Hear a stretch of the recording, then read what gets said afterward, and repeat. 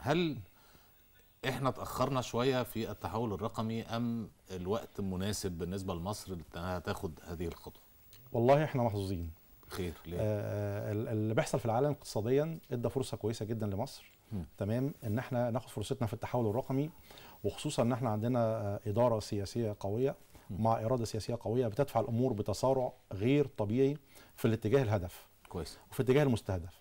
عشان كده بتقصد ال- المشاكل الكوفيد 19 والمشاكل بالظبط بالظبط اللي حصلت في العالم الكلام ده كله. عمل delay في حاجات كتير جدا في العالم. صحيح صحيح. plus إن إحنا بدأنا في الوقت اللي إحنا كنا قادرين فيه.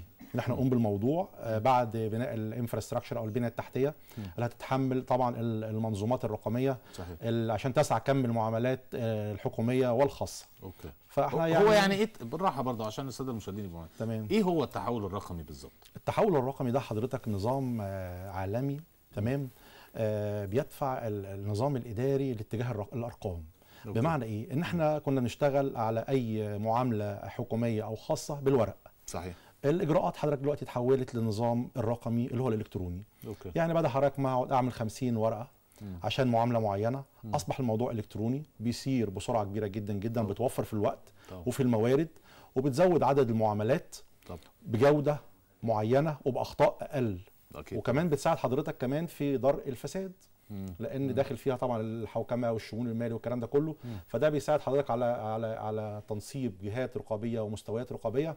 بتقلل نسبة الفساد أو الكوربشن بنسبة كبيرة جدا جدا طبعا. وده معروف في الدول العربية يعني النسبة بتاعته عالية. فإحنا. شغالين عليه كهدف استراتيجي آه، في اتجاه ال- 2030 اللي هي الرؤية الاستراتيجية للدولة. مم. يعني يعني الموضوع كله على بعضه مفيد من جهات مختلفة كتير يعني طبعاً. منها سرعة طبعاً. الأداء ال- ال- المعاملات ومنها مكافحة الفساد والدقة وتقليل, في وتقليل الأخطاء وتقليل الوقت وزيادة أكيد. الموارد كمان لأن لأن؟ حضرتك أقول لحضرتك لما إحنا كنا حضرتك بنشتغل بالنظام التقليدي القديم الورقي كنا إحنا قادرين على عمل مثلا 10 معاملات في اليوم مثلا مثلا تمام دلوقتي حضرتك مع ال- النظام الإلكتروني والتحول الرقمي حضرتك إحنا ممكن نعمل 100 معاملة في اليوم فده حضرتك هيزود حضرتك الإيرادات اللي جاية من المعاملات دي. مم. plus إن هي حضرتك هتوفر إيرادات للدولة بشكل غير مباشر لأن حضرتك استخدام البنية التحتية كمرور وكبنزين وك وك صحيح. وك حضرتك ده كله بيصب بشكل غير مباشر حضرتك في صحيح. التوفير على ال ال ال من من المصروفات اللي صحيح. الدولة بتصرفها عشان تأدي الخدمات دي. حتى م... يعني حتى مصروفات الأفراد نفسهم. طبعا يعني بت- بت- مصروفات الأفراد حضرتك والحالة النفسية الاجتماعية كمان بشكل مباشر لأن الإنسان المصري لما بيروح كان يعمل معاملة حضرتك بالنظام التقليدي القديم الورقي حضرتك كان بيحس إن هو بيقوم في مهمة يعني حضرتك مستحيلة. صحيح. لكن دلوقتي حضرتك أنا رايح أو ممكن ما أروحش كمان. آه، أنا ممكن أعملها حضرتك وأنا قاعد- في البيت. وأنا قاعد في البيت أو أخلي ابني الصغير عشان خاطر الأولاد شوية يعني آه، تفكيرهم في التكنولوجيا. ومتوافقين مع التكنولوجيا حضرتك صحيح، عشان. خاطر يقدروا يوصلوا يعملوا المعاملات دي بمنتهى السهولة والبساطه لأبائهم يعني. لو مش قادرين. إحنا بنتكلم معاملات إيه بالظبط؟ يعني إيه إيه إيه إيه المع... أو كم المعاملات آه اللي كل حضرتك المعاملات الحكومية حضرتك الدولة حطاها في خطة آه ممنهجة عشان خاطر تاخد إدارة إدارة وقطاع قطاع عشان توصل إن كل المنظومة تبقى رقمية. okay. تمام؟ okay. فإحنا خدنا مثلا حضرتك قطاع مثلا قطاع مثلا في الداخلية الجوازات قطاع مثلا حضرتك المرور قطاع الشهر العقاري. الحاجات اللي بتمس ال- ال- المواطن بشكل يومي. حضرتك يومي حضرتك ده بتأثر في كل بتنعكس في كل في اقتصاد وفي حالة نفسية واجتماعية كمان. صحيح، دي المواطن. فبدا صحيح. المواطن يحس بيها. آه، وده اللي. إحنا عايزين نوصل له آه يعني في نهايه وفي دول كتير طبعا حققت طبعا آه، يعني طبعا والنتيجة إحنا. شفناها حضرتك بره مصر وكنا بنتمنى في يوم من الأيام إن هي توصل لمصر.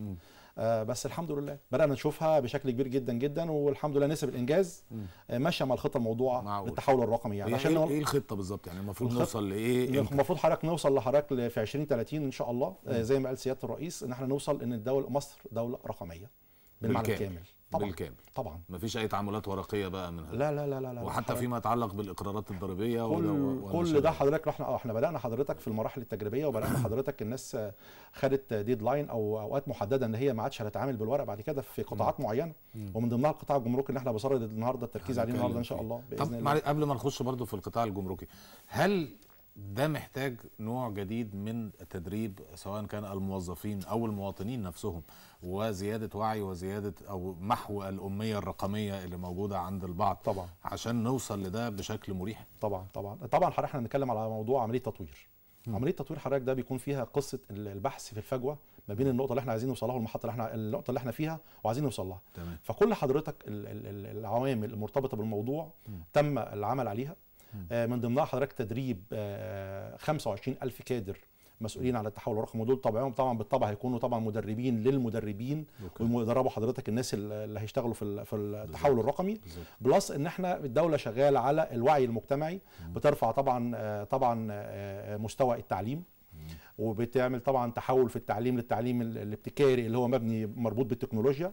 plus إن الدولة شغالة على محو الأمية بشكل كبير جدا وكلفت الجهات آه، اللي طبعا الجامعات والكلام ده كله عشان تشتغل على الموضوع. بلس إن إحنا حضرتك علينا دور كمواطنين ان إحنا نقوم بيه في مساعد بعضنا البعض وده دور وطني ما بيقلش وطنية. عن أي جندي موجود في الميدان. صحيح. تمام؟ فأي واحد فينا قادر على تعليم الآخرين يقدر يعملها. وإلى حينه حضرتك في مراحل تحولية بتحصل دلوقتي على ارض الواقع إن في مراكز طبعا أعمال هتقوم بمساعدة الجمهور والكلام ده كله عشان نوصل إن دي تبقى الثقافه العادية. العامة بالظبط الثقافة العامة. العامة يعني. بالظبط يا فندم. حتى على كبار السن ما فيش مشكلة طبعا. سهل يتعلم مفيش أي مشكلة لأن كل الموضوع مدروس حضرتك والموارد اتوفرت البشرية والمادية. تمام؟ حضرتك في وقتها المناسب.